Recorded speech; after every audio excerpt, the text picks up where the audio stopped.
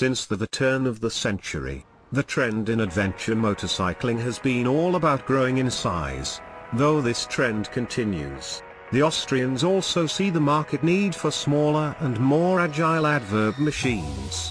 For 2017, KTM released the 1090 Adventure R, which provided a lighter, more agile and more approachable adventure bike versus the all-powerful 1290 Adventure KTM 790 Adventure R prototype horsepower now things get even smaller.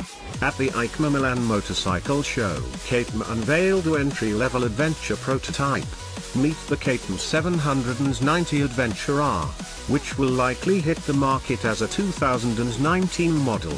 The 790 Adventure R uses the totally revised 799cc LC8C parallel twin that is offered in the all-new 790 Duke, which also premiered at EICMA. The 790 Duke's engine was confirmed to produce a claimed 105 horsepower and 63 feet per pounds of torque.